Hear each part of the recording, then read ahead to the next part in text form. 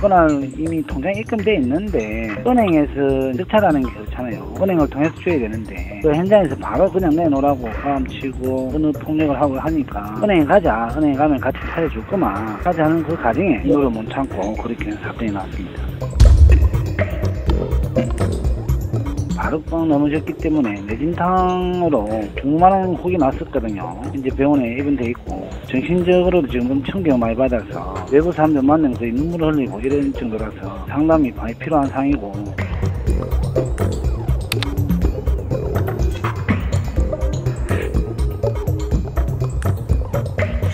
어느 폭력은 매일 일어나는 일이고 지시해서 넘어가는 일도 많이 있고 요.